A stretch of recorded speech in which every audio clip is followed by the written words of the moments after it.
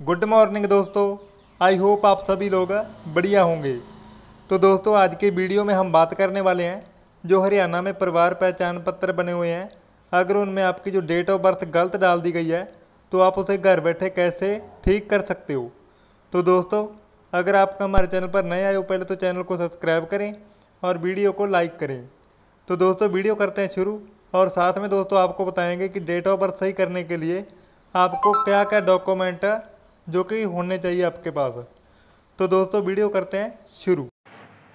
तो दोस्तों, हमने परिवार पहचान पत्र की जो ऑफिशियल साइट है, उसको लॉगिन करके रखा हुआ है। तो दोस्तों, आपको जो डेट ऑफ़ बर्थ सुधारने के लिए, ठीक करने के लिए, आपको जहाँ पर एक ऑप्शन मिल जाता है, सिटीजन लॉगिन। इस पर दोस्तों, आपको क्लिक कर लेना है और उसके बाद जहाँ पर सेलेक्ट कर लेना है, करेक्शन मॉड्यूल। जैसे दोस्तों इसे सेलेक्ट करोगे तो आपको जहाँ पर अपनी फैमिली आईडी फिल कर देनी है। तो दोस्तों, हमने जो फैमिली आईडी नंबर है, वो फिल कर दिया है। उसके बाद जहाँ पर लिखा हुआ आ रहा है गेट जो कि फैमिली इस पर आपको क्लिक कर देना है। उसके बाद आपके जो पूरे परिवार की डिटेल्स आ जाएगी। तो दोस्तों, इसे मैंने सिक्योरिटी की वजह से हाइड कर दिया है। उसके बाद जिस मेंबर की जो आपको डेट ऑफ़ बर्थ चेंज करनी है, उस डेट जो कि मेंबर को जहाँ पर सेलेक्ट कर लेना है। जैसे एग्जांपल के लिए मैं इसे सिलेक्ट कर लेता हूँ और उसके बाद जहाँ पर दोस्तों काफ़ी सारे ऑप्शन मिल जाते हैं हमें, जो कि हम चेंज वगैरह कर सकते हैं इनमें से। तो जहाँ पर हमें जो डीओ भी चेंज करना है तो हमें डीओ भी सिलेक्ट कर लेना दोस्तों। और उसके बाद इस प्रकार का जो इंटरफेस आपके सामने आ जाएगा।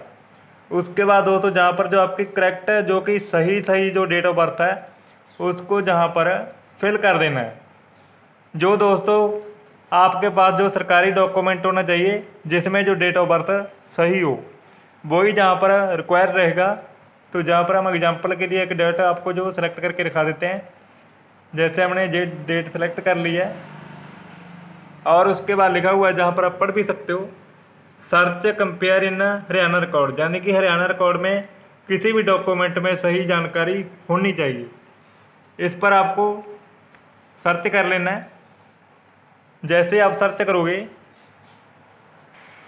तो दोस्तों, उसके बाद जो आपने परिवार पहचान पत्र में मोबाइल नंबर दिया हुआ है, उस पर एक ओटीपी जाएगा। तो दोस्तों, हम इसमें ओटीपी फटाफट से फिल कर देते हैं और उसके आगे बताते हैं आपको कौन कौन से डॉक्यूमेंट रिक्वायर्ड होंगे, जो कि डेट ऑफ़ बर्थ चेंज करने के लिए। तो दोस्तों, हमने ओटीपी डालकर सबमिट कर दिया है।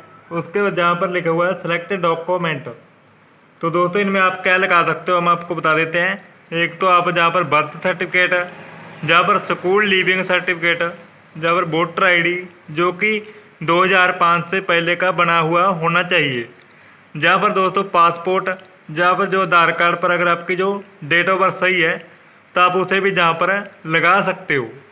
तो दोस्तों इस तरीके से जो अपनी जो डेट ऑफ़ बर्थ को सही कर सकते हो, जैसे हमने आधार कार्ड जहाँ पर सेलेक्ट कर लेते हैं आपको बताने के लिए तो उसके बाद जहाँ पर दोस्तों डेट ऑफ़ बर्थ आपको डाल देनी है, उसका आधार कार्ड नंबर डाल देना है उसका फादर जो, फादर का जो सर्टिफिकेट है, जैसे जिस पर जो फादर का नाम सही होना चाहिए, जो आपने फैमिली आईडी में फादर का नाम दिया हुआ है, उसका। ज़्यादा दोस्तों आपका उनका आधार कार्ड भी लगा सकते हो, इनमें कोई ऐसी नहीं है। फादर का आधार कार्ड नंबर जहाँ पर लगा सकते हो। और डेट ऑफ़ इशू यानी कि जैसे, जिस डेट को जो आधार कार्ड आपने बनवाया था, उस डेट को जहाँ पर सेलेक्ट कर देना है उसके बाद दोस्तों जहाँ पर उसको 200 के का जो आपको डॉक्यूमेंट होना चाहिए, जो आधार कार्ड आपने सेलेक्ट किया है, उसको जहाँ पर डाल देना है, यानी कि इसमें फ़ाइल को सिलेक्ट कर लेना है और जनरेट ओटीपी आपको क्लिक कर लेना है।